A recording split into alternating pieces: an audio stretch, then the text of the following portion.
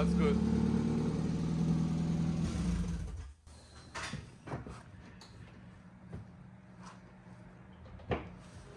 Alright guys, welcome to the next episode of the Miata restoration in the Rusty Beauties garage with Nik and myself. Hello. Hi Nik. so we haven't been working on this car for a long time. It's probably a month and a half now. We always had something else to do in the weeks or the weekends when Nik was here. So today it's a long weekend in Canada, so we have done other things too on Saturday, but now we have Sunday and Monday to work on the car, hopefully, if something else doesn't show up. Anyways, as usual, we're gonna lift the side that we're gonna be working on, and uh, again, I'm gonna have to relearn what we've done so far and what the plan was, because when you work on the project intermittently and you work on thousands other projects in the meantime, you lose connection. Anyways, let's look at the other side. At least something that is already done so we can be a little bit more satisfied. But it's still in primer here, so it starts rusting here and there. See, they're on the welds. But yeah, soon the time is gonna come when we're gonna finish welding and we're gonna start working on the paint and priming her and painting her. Hopefully we're gonna be able to do that because I'm losing uh, I'm losing hope with my GT6 over there. I think it's not gonna be not I think but I'm pretty sure it's not gonna be ready for September so yeah unfortunately so fortunately I'm busy with other people's cars like this one for example and constantly I have more and more calls now in the summer it's not officially summer yet, but it's almost summer. People's cars are out, so unfortunately or fortunately, we don't have much time for our own car. Anyways, enough talking, let's get crack-a-lacking.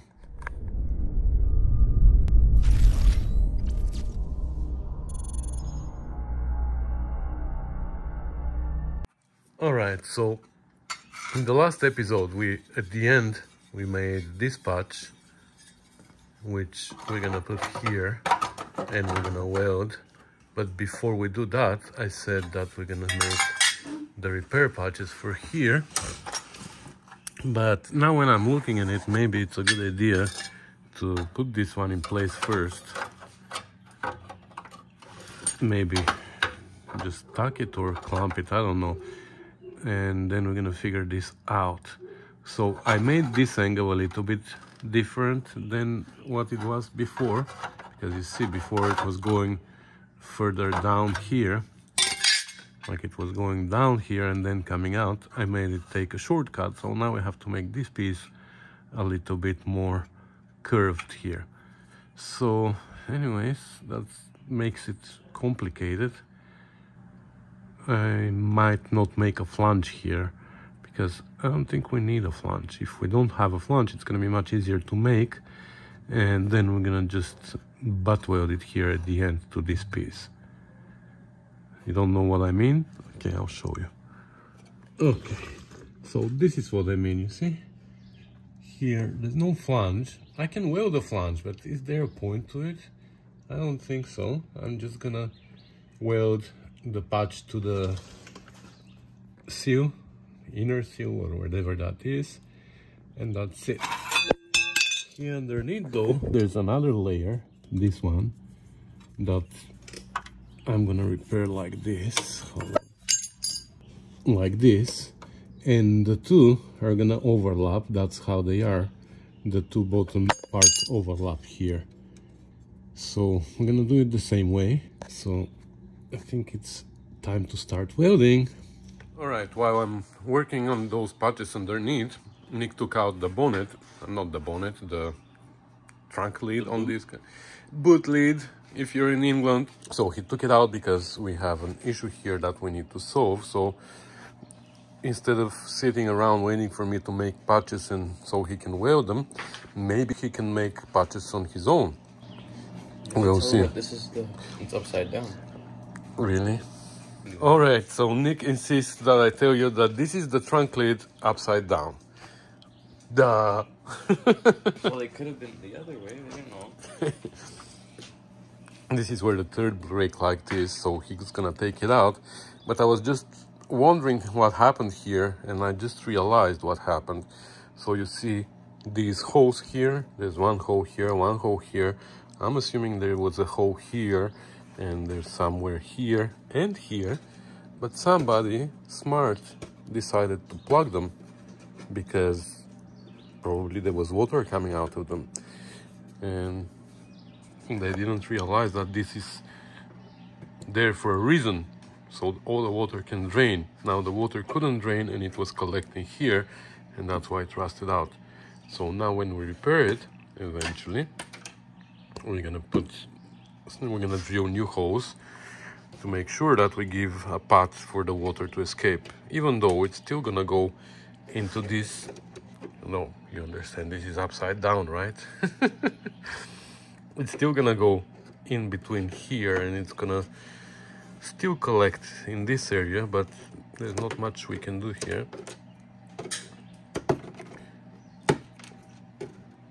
Yeah that's not a great design but it is what it is. Anyways we're gonna see how we're gonna repair this but first of all Nik is gonna clean it because he got the car. There was a fiberglass patch here which didn't even cure properly because this is sticky. So we will see how we're gonna clean this up. All right so this is welded underneath the inside one. I welded the inside one then i welded this one on top of it or under it in theory. In fact and uh, then i tacked this one on this side. I painted everything inside of this one with uh, truck bed liner but now we're gonna burn it wherever we weld here. But you see what I mean? Now we can weld it here and here. Of course I'm gonna have to make a tack then hammer push this up because now it's springing back up. But once you make a tack here somewhere then you can push the other one up. And that's what I'm gonna do. I'm gonna weld it all over here and then Nik is gonna come and he's gonna weld inside here everything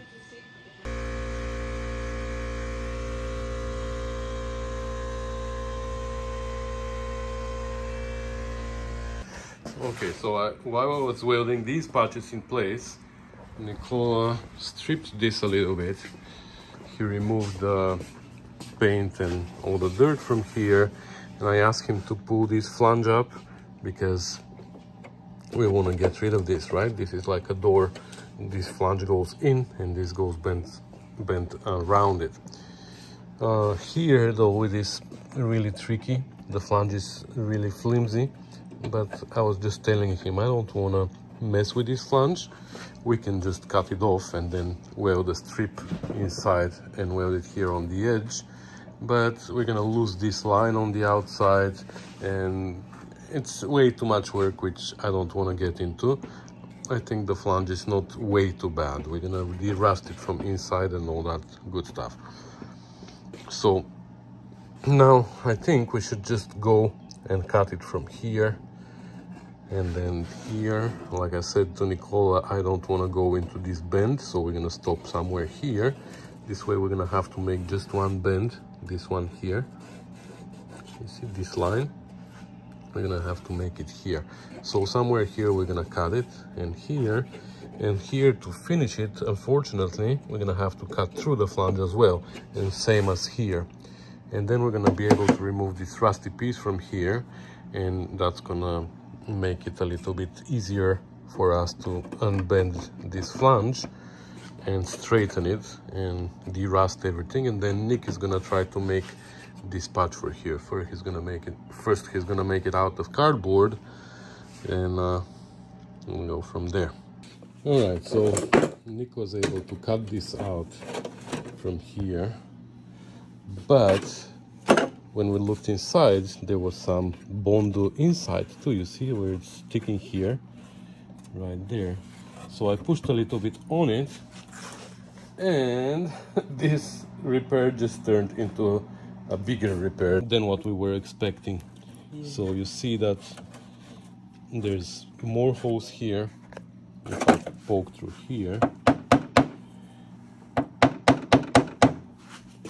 like here, that's a hole. There's a body filler coming through from outside. So I say we just ignore this for now. This is where it poked out. Anyway, I think we should just ignore the outside for now. Nik should make a patch like this. First out of uh, cardboard and then out of metal that fits here inside. Then we're gonna clean inside everything. Or we're gonna paint it and then we can weld the patch in with the flange sticking up in this corner. And then we can even bend it down and then we can cut out the rust from here because we're not gonna replace everything maybe we're gonna cut it from here somewhere to here and we're gonna replace just a piece like that so let's not worry about it now let's make this all right so this patch turned out to be a little bit more complicated than what i expected so nicole needs help with it the patch in uh, final shape needs to be like that so it needs to have this flange up but this flange is a little bit curved, which means we can't do it on the brake because it's curved, right? It goes, has a little bit of a bow on it. So if we make a straight flange first and we shrink here, then this flange is gonna become curved, right? But we can't shrink that deep. This means that we can actually make it like that. Initially, we can cut the piece of metal with a straight line make a straight bend on the break, then cut the piece here with a V shape, and that's how we're gonna shrink it, and it's gonna turn into this shape. For here, for the end, we have a little bit going down, like it, it needs to go down like that. So I made this cut here on the template, so that's how we're gonna cut it. Initially we're gonna make this V-shape cut. Then we're gonna bend this flange away like that. So we can put the rest on the brake we're gonna make this bend. And then we're gonna straighten this flange up. And they're gonna meet somewhere here like that and why it needs to be like that well let me show you here on the inside of the trunk lid. That's how it needs to be. See it needs even more than what I cut already here. And at the end here it needs to go down. But it's gonna work. Yeah looks like I'm gonna have to make this patch as well for Nik right, so we transferred it here I don't know if you see the line very thin line I transferred it on the sheet metal and I told Nicola because now this is not a straight line, it's curved line. He's gonna cut it, but he's gonna go just on top and he's gonna make a mark. He's gonna score it literally. And this line we can cut completely and then we're gonna wiggle it and we're gonna snap it off because with a straight disc you can't cut curved lines, you know. And plus this line is not precise yet. We're gonna creep into the precise line when we have all the bends done.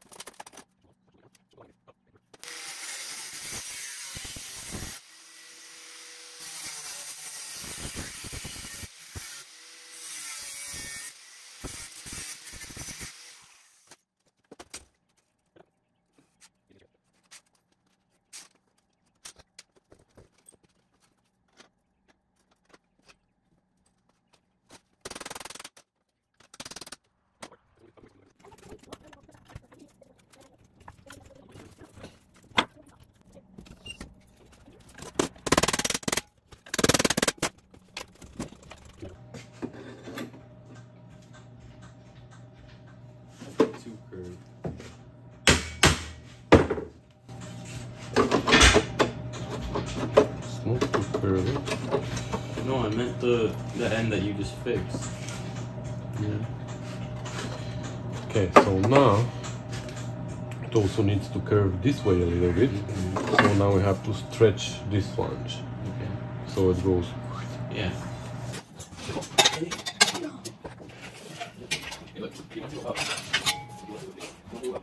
Alright, so it's again two weeks later, or I don't know how many weeks later.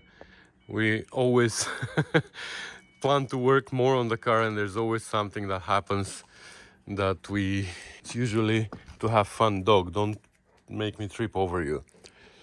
Like last week, I think we went to Wonderland instead of working a second day on the car. So, anyways, we have a few hours today, and Nik is just gonna bring the car in, and we're gonna do a little bit more work on it.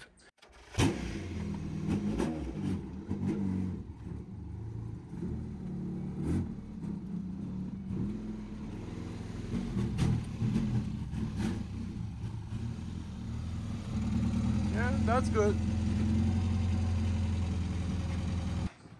Okay, let's cover that oily rag there so we don't shoot sparks on it. All right, so Nik has just jacked it up, and from last time he has something here that I prepared for him to weld. So now he can weld all this here. Then we're gonna paint it, and I made also this patch last time. I hope I filmed it. I don't remember what I filmed and what I haven't, but this goes here after to finish this part, and then we're gonna see this another part here that we need to make. That's where we're gonna start. We also have on the table there, I just pulled out the the boot again and we have this patch that we made last time. Yeah, I think it's almost ready to be welded actually. That's how it goes. I'm gonna make it match. I made also this bend here, like on the vise, very gentle. And yeah we're gonna make sure it fits nicely. We're gonna weld that as well. Once this is welded then we have to repair this part here. We're gonna cut it out. Then we have to get rid of the body filler first to see what's there because there's probably more. You see this whole entire area here has been affected inside which means I don't know. We're gonna clean it up and we'll see. So yeah. I remember before we won't before we weld this we need to clean this up inside and see how far the damage is going. Then paint and all that good stuff. You think it's better if we repair the this part first before we weld that? Um, no I don't think so because I don't want to distort this much because for now the shape I actually last time I made a template and I think I just threw it away. Anyways I made a template for this shape here from the center to here and I flipped it and it was still good for here. So I think that's what we're gonna do. We're gonna this inside first maybe we're gonna tap it down in the two ends to hold it in place so the shape remains the same and then we're gonna repair that anyways that's the plan so let's get crack-a-lacking What do you want me to say? let's get crack-a-lacking Let's get cracking.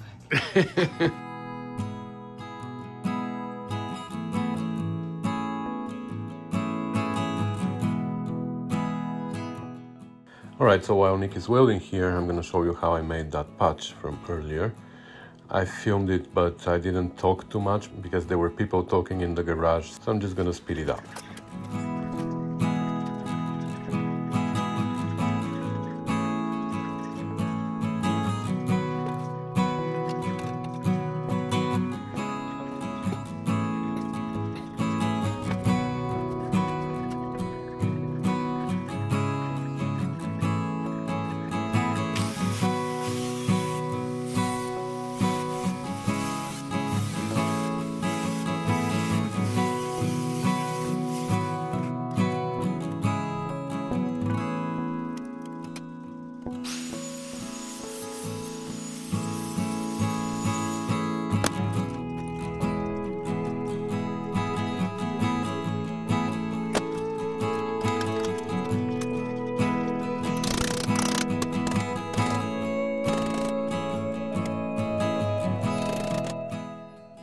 So this is what I made.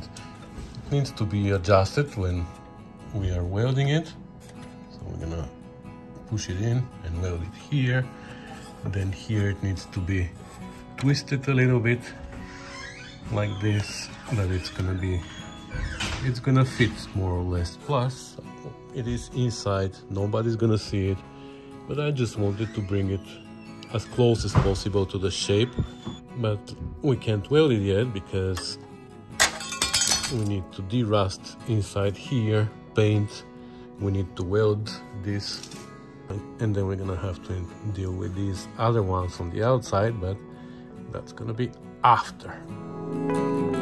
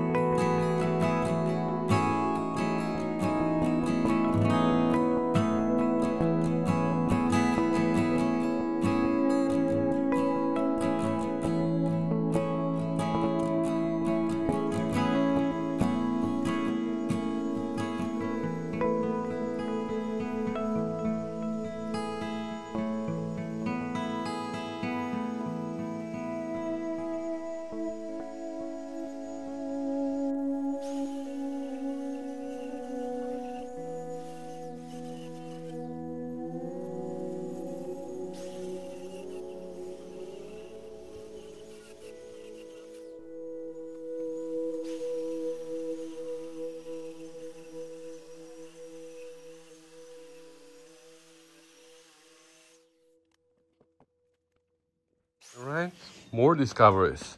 Obviously somebody put a wing here at some point and then they removed it and why would we weld it when we can just fill it up with body filler? And it wasn't even parallel. You see this hole here to the edge is so much shorter than that hole here. This distance here is much longer than that one. Anyways, so even more work here so removed all the body filler from here. Anyway so I sprayed uh, well you can't see it here it's too bright but I sprayed it with uh, rust converter so we're gonna give it some time to do its magic and then we're gonna paint it and we're gonna start welding the patch.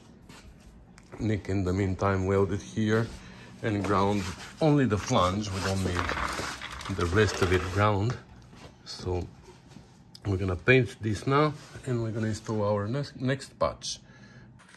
All right, I actually went and painted or primered everywhere where I could reach now. I mean, we had to clean inside a little bit, but it was rust converted long time ago, so I just gave it another wire wheel and now it's, it's it is pretty clean inside. So this patch is tucked. We will see if Nik can weld it now. Here and there and here. And then we're gonna start making this for here. We have somewhere the cut off pieces from here, but they were rusted at the bottom. So we'll see if we're gonna use them or we're gonna just use them, use them as templates and make new ones. We'll see. All right, so this is welded and I'm gonna come and start making the new patches. I have to grind a little bit, I'll grind it, that's fine. Um, I'm gonna start making the new patches and in the meantime, Nik is gonna start welding this. So I primed it inside. This is primed inside as well. So I'm gonna set it here and I'm gonna tuck it in a few places for Nik and then he's gonna finish welding it. All right, I tucked this in lots of places, try to line it up as best as I can. So Nicole is gonna finish welding it now, and then we're gonna make this repair, I guess. And in the meantime, I'm gonna go make the rest of these patches for here. So it's all welded now. Nik did a good job. So we decided probably we're gonna leave it for next time to grind because we have only half an hour left. Unfortunately, we started late today and, and we need to finish early. So now he's gonna weld these. He's gonna put a piece of brass or whatever this is on the outside. He's gonna weld this from the inside first, and then we're gonna flip it and he's gonna weld on the outside as well, and then we're gonna grind them.